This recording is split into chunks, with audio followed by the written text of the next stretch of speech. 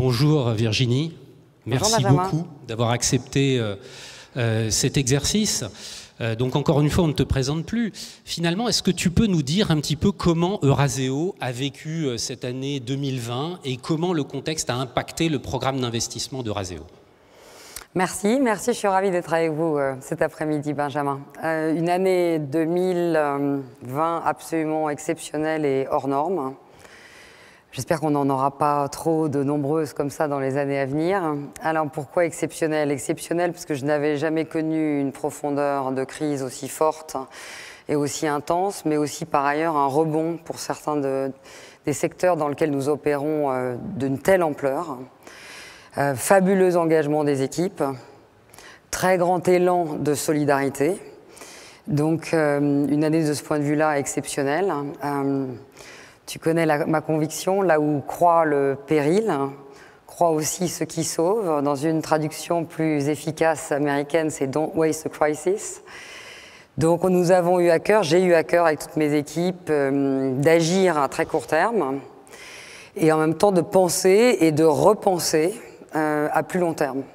Je pense que l'intérêt d'avoir une organisation qui est euh, stratégiquement concentrée, mais très décentralisée opérationnellement, fait que tu as la capacité en même temps d'avoir des équipes sur le terrain qui sont indéniablement défensifs, en tout cas de, mars à mai, aux côtés des entreprises, euh, protection de nos équipes, liquidité bien sûr, maintien des activités mais aussi des équipes dirigeantes, des équipes de fundraising qui sont à l'offensive en parallèle, à l'offensive en train de repenser, le cas échéant, les investissements de demain, du monde qui s'ouvre, de continuer à travailler avec nos clients. Euh, je crois que pour nous, l'année 2020 sera une année record hein, de levée de fonds, ce qui est toujours euh, étrange à dire dans une année aussi particulière, mais euh, très valorisant pour ce que nous sommes et pour les travaux de Raseo. Donc toujours cet offensif et ce défensif en, pédale parallèle, euh, qui est un exercice particulier. Et puis... et comment s'est traduite alors cette accélération en 2020 au-delà des levées de fonds Une accélération après la phase plus centrée sur le défensif, en mai, en juin, une accélération sur de très nombreux fronts. D'abord un redéploiement de beaucoup d'investissements dans des secteurs qui nous paraissent être euh, des secteurs euh, de l'avenir. Donc sur les quelques 2 milliards que nous avons investis depuis euh, le début de l'année, un bon 40-45% est allé dans des investissements de tech, de plateformes de différentes natures, de software, mais tech-enable, mais aussi des marques, des marques premium, des marques de lifestyle. Et puis nous avons beaucoup travaillé, sur des projets euh, dont je pourrais parler, mais pas aujourd'hui, assez, euh, innovants autour de, autour de la santé. Donc déjà des accélérations sur euh, de l'investissement, des accélérations aussi d'un point de vue de nos développements internationaux. Et donc là aussi, peut-être contre-intuitif, mais on a, on a gelé nos recrutements et on s'est gelé quelques mois seulement. Et on a réaccéléré à partir du mois de, de mai. Donc nous ouvrons Londres euh, dans, quelques mois. Ça veut dire recruter des talents à Londres pour compléter nos compétences euh, sur tous nos métiers. Euh, et nous nous sommes renforcés dans d'autres géographies, notamment aux États-Unis de manière très agressive. Et puis des accélérations dans des nouveaux métiers. Tu sais qu'il y a plusieurs types d'opérateurs dans nos secteurs. Il y a des sociétés qui ressemblent plus à des boutiques hein, et d'autres, euh, des acteurs du private equity qui sont plus institutionnels et qui se sont développés sur du multimétier. C'est ce qu'on a cherché à faire. Alors ça, c'est exactement un des sujets qui nous tient à cœur. Comme tu le sais, BPI France est particulièrement fanat des modèles de plateforme. Alors le mot n'est pas très heureux. On peut parler de GP qui se conçoivent comme des entreprises de croissance à long terme.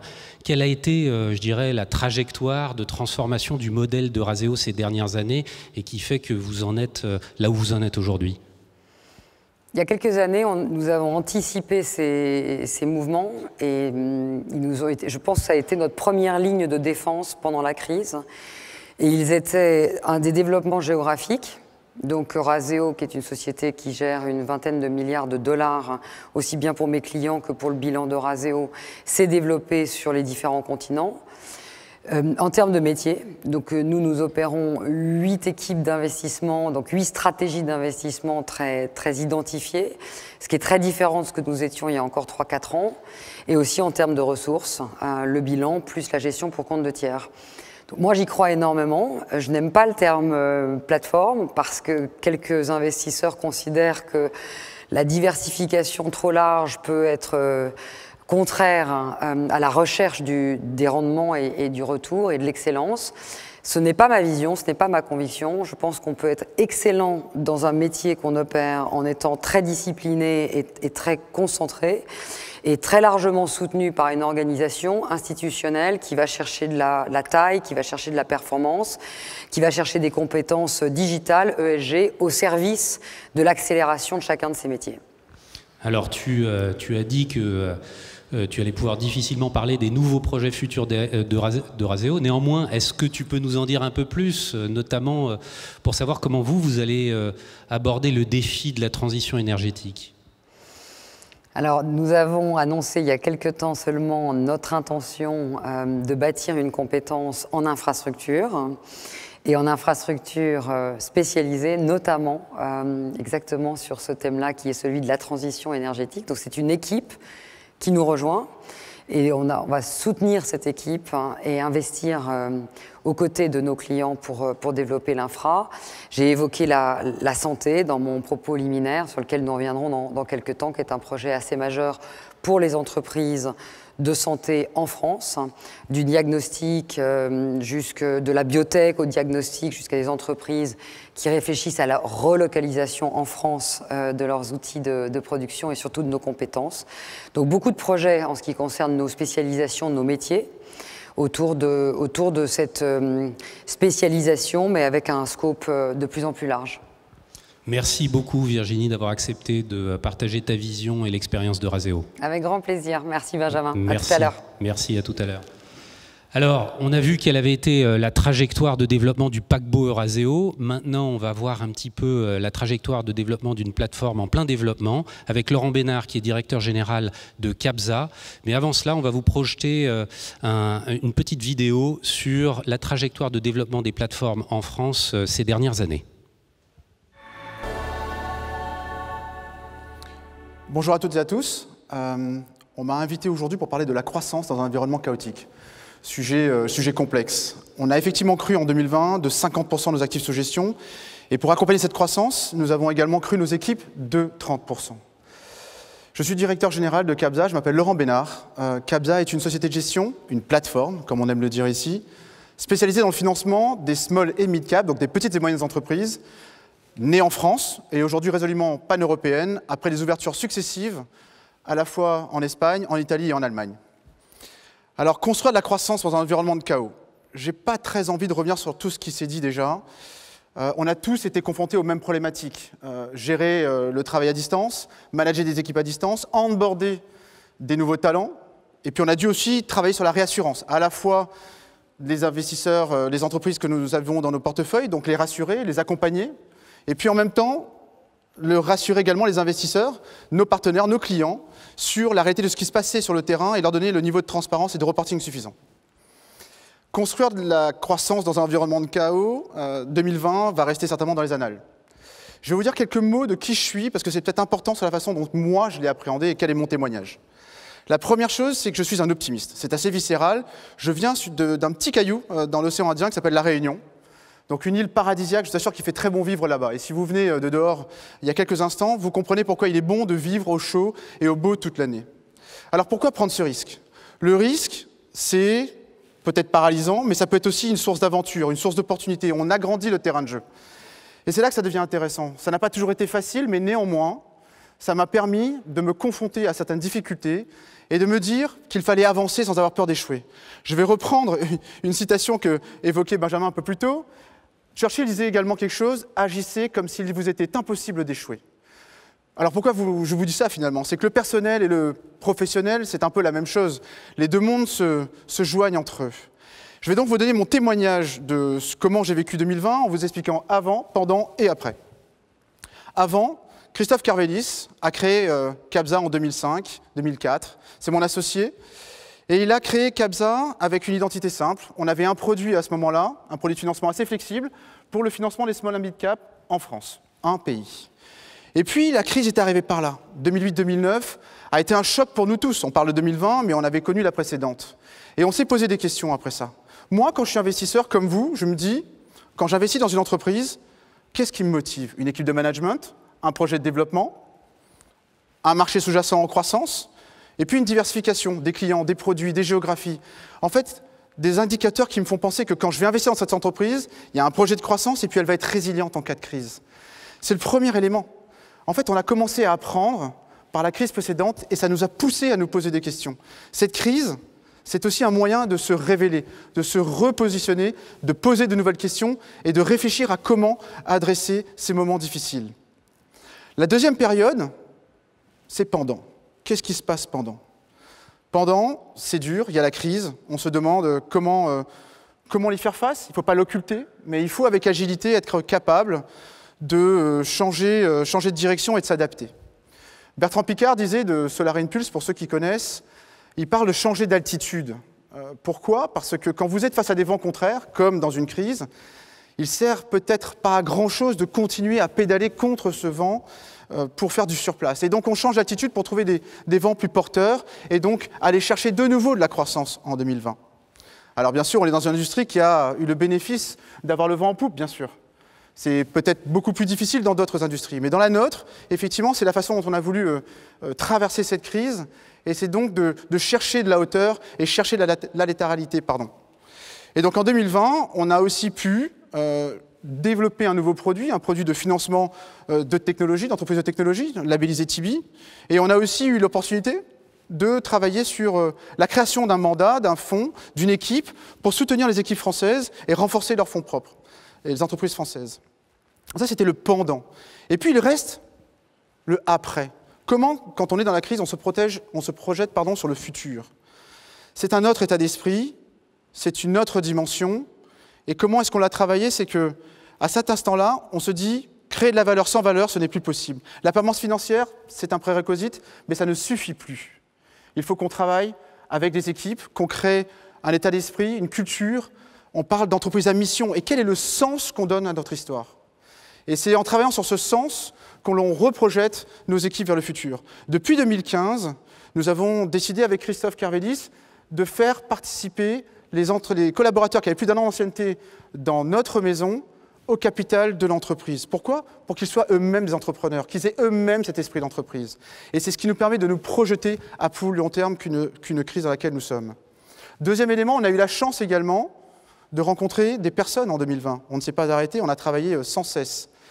Et on a eu la chance de rencontrer une équipe, un skipper, euh, Axel euh, Tréhin, qui est skipper et qui va prendre le départ de la route du Rhum en 2022. Et il est en plus associé à une association qui nous tient qu'à cœur, qui s'appelle Rescue Ocean. Rescue Ocean, c'est nous mobiliser pour faire prendre conscience à tous qu'il y a beaucoup trop de déchets dans notre vie du quotidien. Et surtout beaucoup trop de déchets dans les océans. Et donc encore une opportunité que l'on a eue en 2020 de nous rassembler, de nous fédérer autour de ce projet pour regarder déjà 2022. Et donc sortir de cette crise et toujours avoir un côté directionnel dans notre façon d'appréhender les choses. Donc l'exercice oratoire veut qu'il y ait une conclusion à ce que je viens de dire. Euh, si je dois en avoir une, c'est qu'il faut un peu tout ça finalement pour traverser cette crise. En tout cas, c'est comme ça que moi je l'ai vécu. Il faut une autre identité, donc qui nous sommes, comment est-ce qu'on fait face aux difficultés? Il faut de l'expérience. Comment est-ce qu'on est venu euh, euh, travailler après 2008-2009 euh, et comment on s'est réinventé? Il faut de la hauteur, de la latéralité pour changer nos objectifs et pouvoir voir aux côtés de cette difficulté. Et puis il faut enfin fédérer un projet et donner du sens à ce que l'on veut faire. Ce n'est que mon témoignage, il n'y a pas de donneur de leçons, bien entendu. On le dit avec beaucoup d'humilité dans un environnement qui s'est plutôt bien porté, l'environnement de la finance et l'environnement des plateformes. Montaigne disait entreprenez dans un monde tel que vous le voyez et non pas dans un monde tel qu'il l'est. Et je crois que c'est ce qu'on a voulu faire. Créer cette plateforme, les femmes et les hommes, les talents de Capza nous ont permis, avec nos différences, nos énergies et nos difficultés, de projeter Capza au-delà de 2020.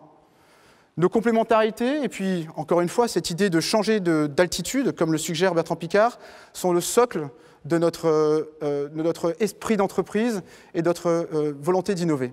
Merci à tous.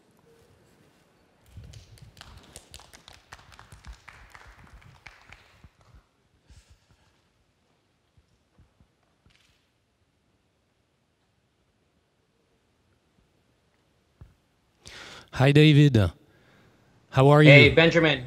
I'm very well. Great to be with you. Thank you. Thank you very much for being live from New York, David. So, you're the head of uh, private equity at the New York Retirement System.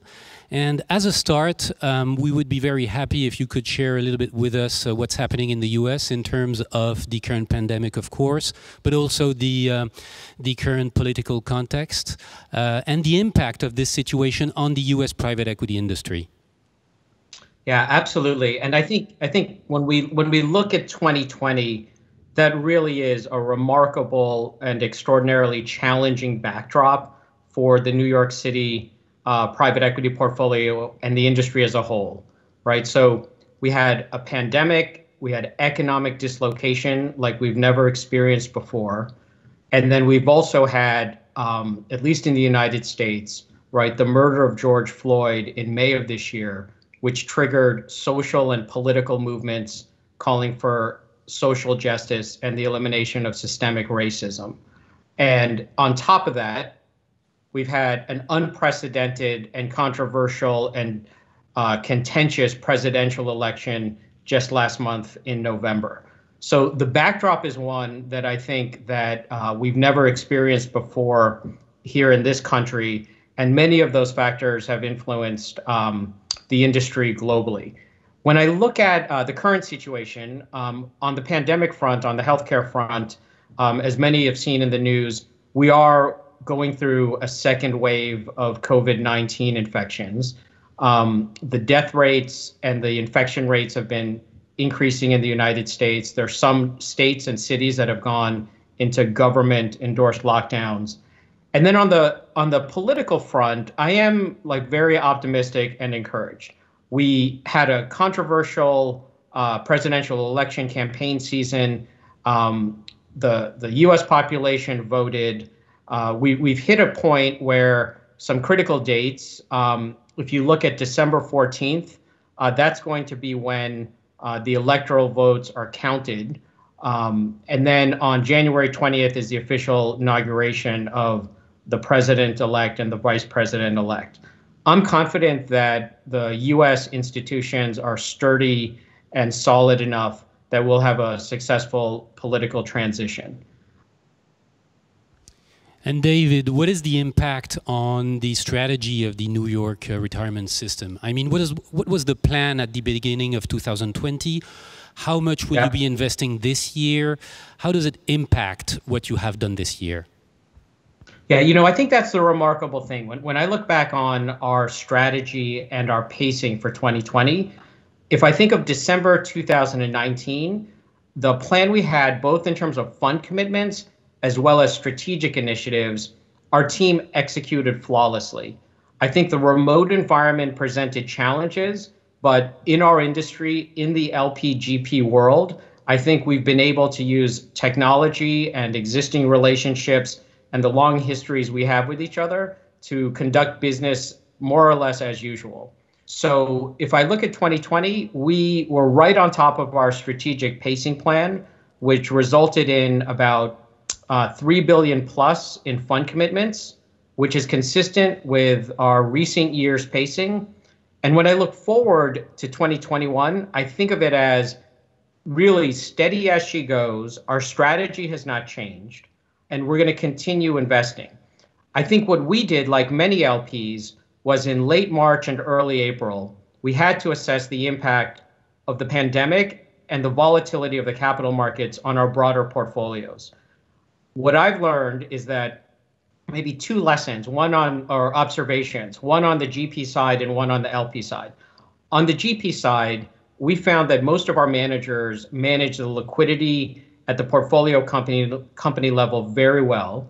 And then finally, they also communicated effectively with LPs. There were regular COVID update calls, there was granular detail and discussion around those portfolio companies that were challenged and those that were doing really well. And I think on the LP side, to generalize for the industry, there was very consistent pacing. I think there were moments when peer institutions maybe paused, but realized there was a, a real interest in maintaining vintage year exposure in 2020. David, maybe one question with respect to uh, emerging managers. What is your position at New York State Retirement System with respect to emerging managers and their role in connection with the capacity of the VC and private equity industry to renew itself? Yeah, that, and I, I, think the the phrase you used, Benjamin, on renew is critical. I think that so New York City, we've had a emerging an emerging manager program that our team executes since 2012. It's core to our strategy. We have a long-term goal of uh, approximately 10% of our annual pacing going into emerging managers. And if you think of our portfolio, we're about 60 plus percent US North America and low 20s percent Western Europe. And that's the geographic split of our portfolio. And our emerging manager program targets those two main geographies. Now, this is the thing the framework I have, the way I think about it is what is the private equity industry? If you take a cocktail shaker and you add a 10 year limited partnership structure, a carry based compensation system, and human nature, but it's not just regular human nature, right? It's private equity, venture capital, alpha, return generating human nature. You throw that in the cocktail shaker, you shake it up, and that's a private equity industry. What that means is that there will always be some combination or some percentage of firms who don't transition the leadership roles or the economics, and you'll have frustrated star performers who will branch out and start their own firm. They want control over their destiny, they want control over the portfolio, they want to create wealth for themselves and their investors. So we really see emerging managers as an opportunity to also scale with the next generation of leadership in the industry. And I think this is the key thing. I think it's there's a positive selection bias, right? I don't think it's, you know, you know, sort of like in, in football or soccer terms, you know, kind of your, you know, right bench player who says, I'm going to leave the firm and I'm going to raise capital and I'm going to start my own firm. It's usually the risk takers, the successful investors, those with a track record. And what's interesting is in the US market, there are pools of dedicated capital and programs similar to New York City. And so for us, it's an important part of our portfolio construction, and we take a very long term strategic view. So we, we've got a few seconds left, uh, David. What is your view with respect to Europe? I know that you have invested in Europe and in France in the past. Yes. Uh, given the situation, what is your view today uh, uh with respect to Europe and France? Yeah, briefly, I would say, given the depth of the European market, um, it's always going to be core to our portfolio after the US market. That will continue to be the case both with established managers as well as emerging managers. Um, we did announce a program this summer. We started a $600 million program with Neuberger Berman as our partner, focused on early stage first time funds, also looking at opportunities in Europe.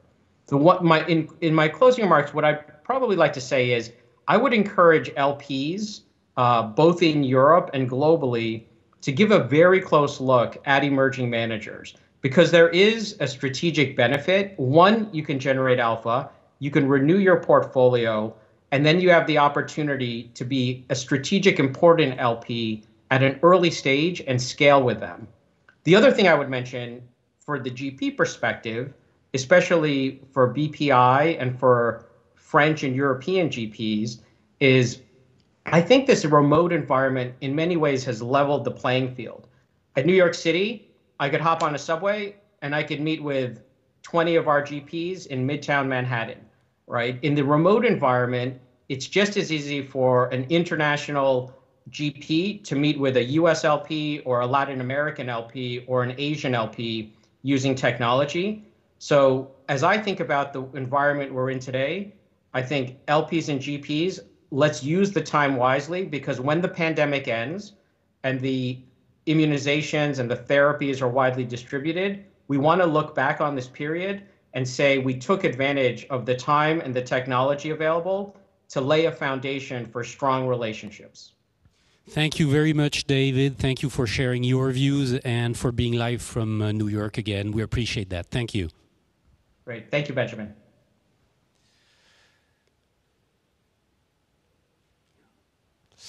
Alors, on vient de voir euh, un regard de la côte est euh, des États-Unis. Maintenant, qu'en est-il du côté de la Chine? Deng Shuang est l'ancienne CEO de euh, CDB Capital, qui est une filiale de China Development Bank. Deng Shuang est aujourd'hui en train de, constituer l'un des plus gros fonds de fonds en Chine. On aurait adoré la voir avec nous en live. Malheureusement, elle est trop loin, elle est basée à Pékin. Et donc, elle nous a envoyé un message avec son regard depuis la Chine. Respectful Mr. Nicolas Dufourcq, ladies and gentlemen, it is truly an honor to speak at Capital Invest today. My name is Deng Shuang. I worked at China Development Bank for more than 20 years. CDB, very much like our host BPI, is the most prominent government-backed institutional investors in private equity. I established and managed the few largest funds in China, through which we sponsored over nearly 200 funds covering more than 3,000 portfolio companies. On behalf of the Chinese government, my team set up over 20 bilateral or multilateral funds with financial institutions from almost every continent. Among these partnerships, with BPI being one of the closest, I, we had the privilege to co-sponsor Cathay Capital with BPI, which after 10 years has become an established manager in France and China. Today, I'd like to share with you a few observations with respect to China PE markets in this pandemic. Some fund managers I talked to recently deployed more capital than ever this year. We spotted a few trends. Industry-wise, online education and online shopping as well as healthcare are able to capture business opportunities in this special situation and thus gain particular popularities among investors. One of our portfolio companies, KingMed Test, is the largest clinic testing labor network in China. It processed 22 million samples this year for COVID-19 virus testing. Second, companies which acted quickly to shift to digital channels are in general better positioned than their peers, using live stream video platforms to conduct marketing and sales has been widely adopted across the consumer industries from automakers to skincare. A typical example is Perfect Diary, a local cosmetics brand, particularly popular among young white collar in cities, achieved grand business success in a few years' time and completed IPO this year. It markets and sells products predominantly online.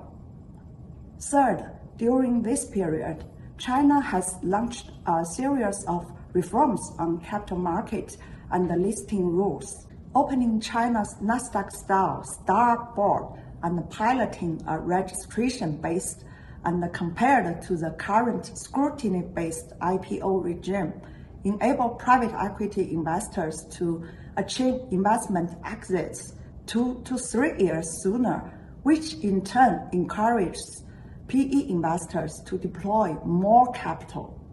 Furthermore, the new listing rules now provide a pre-profit high-tech companies to conduct IPO.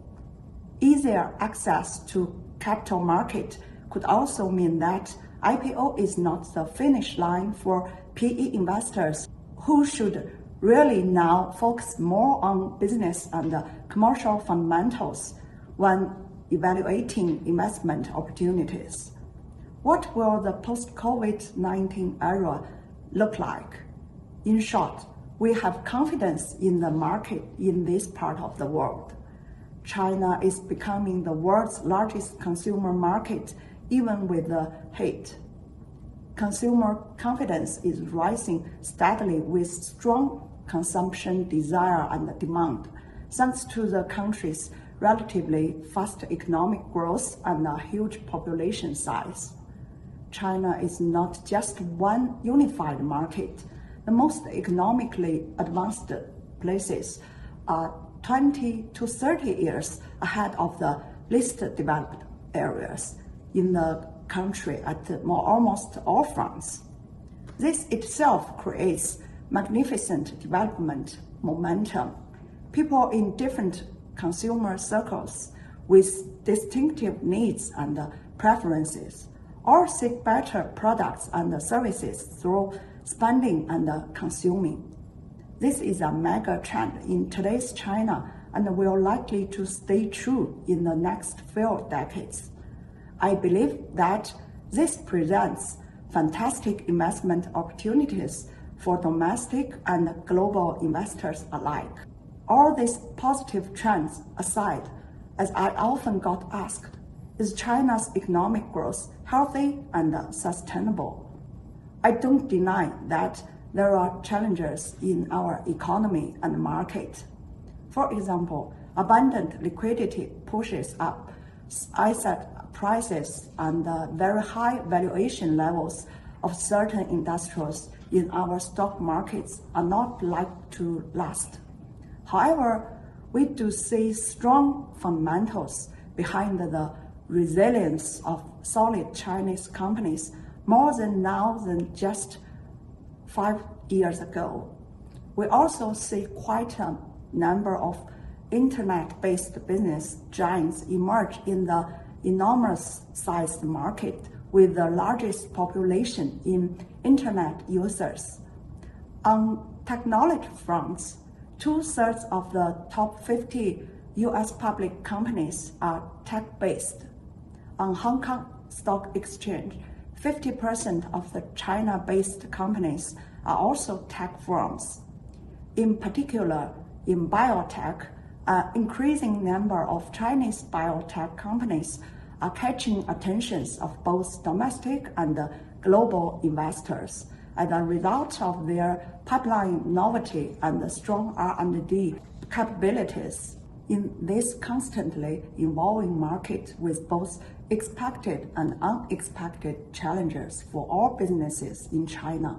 Those who can quickly adapt to changes have better odds to survive and thrive. Only the PE investors who can identify those promising entrepreneurs and empower and enable them to build more successful and robust businesses with capital, resources, network, and strategies can survive. This, in no doubt, has raised the bar for all private equity investors, both domestic and international, in our markets. Among the current 20,000 fund managers in China today, a good number of them may be washed out in the next years to come. Before I wrap up my speech, I want to say a few words on relationship between China and Europe. The world has seen a rising tension between China and the US over trade and certain other fields. I'm no expert on foreign affairs, but it seems obvious that this would hurt businesses and the markets in both countries. If there is any wisdom I gained from my two decades of working with various business partners around the world, it is that trust breeds true partnership that in turn rewards all participants in long term. Sometimes it requires one party to take a leap of faith in other. I'd like to be the one to first reach out as I'm a true believer of trust in business world. Just recently, I and my team set up a private equity investment platform called New Erli Capital. It offers all of primary, secondary, and direct investment products in both RMB and USD. We are backed by reputable sovereign wealth fund and absolute industry leaders. New Erli Capital's vision is to become the nexus point of our business partners to empower them and to generate economic returns for all. I welcome you to ride on the magnificent development momentum in our market through investing in this part of the world. Last but not the least, I wish everyone safe and healthy. As Napoleon said, victory belongs to the most persevering. Thank you, BPI, and everyone for having me today. Maxi beaucoup. Alors nous venons de, voir quatre regards clés en Europe, aux États-Unis, en Chine, qui démontrent bien que rien ne s'est arrêté, qu'on est bien dans la prise de risque, dans l'accélération de la croissance.